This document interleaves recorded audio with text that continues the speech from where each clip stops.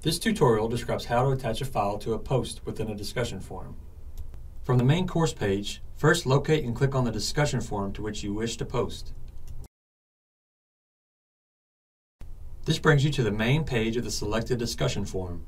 If you are creating a new discussion, please click the Add a New Discussion Topic button.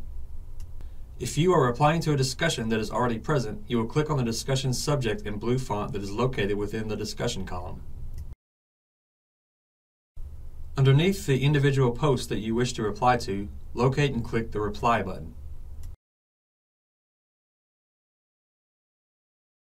This will bring you to the Your Reply page. Once there, two fields are mandatory for your post to be successful, Subject and Message. You may title your post using the Subject field, while the Message field will facilitate any text that you wish to share with your students. To attach a file to your reply post, please locate the Attachment option and click the Add button. A new file picker window will pop up offering you the ability to select the desired file from a variety of options. Select Upload a File. This process is the same when attaching a file to a new discussion post. To upload a file, simply click the Browse button located to the immediate right of the attachment field.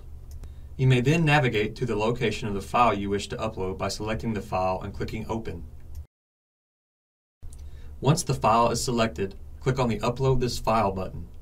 To upload files that you have previously stored in your Private Files section, select the Private Files button. For more information about private files, please see the My Private Files tutorial. Once you have selected your file and your post is ready, select the Post to Forum button. This will post your message along with your attachment to the discussion forum. This concludes the How to Attach a File to a Discussion Post tutorial.